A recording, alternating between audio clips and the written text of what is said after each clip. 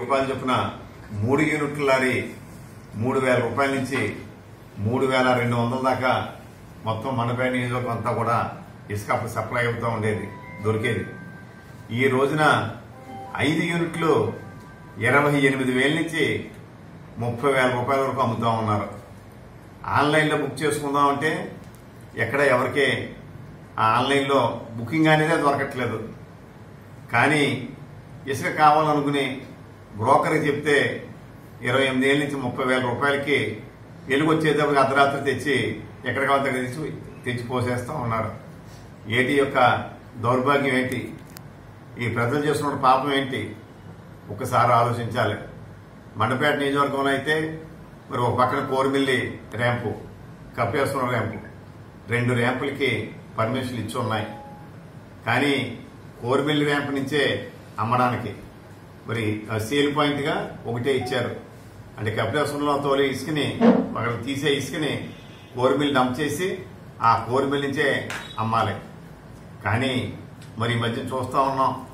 కపిలేశ్వరపురం నుంచి డైరెక్ట్గానే అక్కడిని అక్కడ సేల్ చేస్తూ ఉన్నారు. ఎవరికి పట్టుకెళ్తున్నారంటే ఎవరికి తెలియదు ఎవరు చూస్తున్నారంటే ఏపీ ఎండిసి అని చెప్పేసి చెప్తా ఉన్నారు. వాళ్ళు ఎవరంటే వాళ్ళ ఫోన్ నెంబర్లో పట్టుకోవడానికి ఇబ్బంది పట్టుకుంటారు ఫోన్ ఎత్తరు. మరి రాత్రులు తెల్లవారులు పగలు లారీలు వెళ్తూ ఉన్నాయి కపిలేశ్వరం నుంచి. ప్రస్తుతం గత నాలుగు రోజుల నుంచి చాలా ఎక్కువ వెళ్తూ ఉన్నాయి. అది ఇదే కాకుండా అర్ధరాత్రులు ప్రత్యేకించి సడన్గా ఒక్కొక్క రోజుని పెట్టుకుంటూ వందలాది లారీలు లోడ్ చేసుకుంటా ఉన్నారు. మరి దీని మీద మరి ప్రభుత్వం ఏం చేస్తుంది? సమాధానం చెప్పాలి. ఏమీ లేకుండా మూడు యూనిట్లు మూడు వేల రూపాయలు పంపితేనే తెలుగుదేశం గవర్నమెంట్లో తెలుగుదేశం వాళ్ళు దోపిడీ దోపిడీ ఇసుక దొరకట్లేదని చెప్పి గగ్గోలు పెట్టేవారు. మరి ఈవేళ ఆ గగ్గోలు ఏది? ఏంటంటే భయపడుతున్నారా? ఇది ఏదైనా కారణం ఉందా? ఎందుకు చెప్పలేకపోతున్నారు?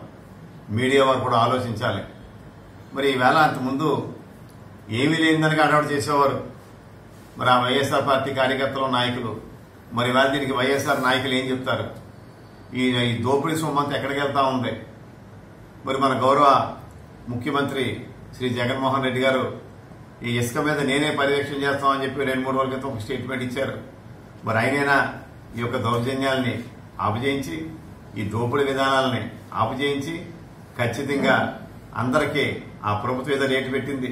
ఆ రేటుకైనా మరి ఆ ఇసుక సప్లై చేయాలని మరి ఇంతకుముందు తెలుగుదేశం ప్రభుత్వం ఏ రేటుకైతే ఆ ఇసుక దొరికేదో ఆ విధంగా మరి మనకి ఇసుక సప్లై చేయించాలని ఈ యొక్క మన బడుగు బలహీన వర్గాలకి ఉపాధి అవకాశం ఇల్లు కట్టుకునే వారికి ఇల్లు కట్టుకోవడానికి అవకాశం కల్పించాలని చెప్పి తెలుగుదేశం పార్టీ తరఫున మేమందరం కూడా డిమాండ్ చేస్తా ఉన్నాం.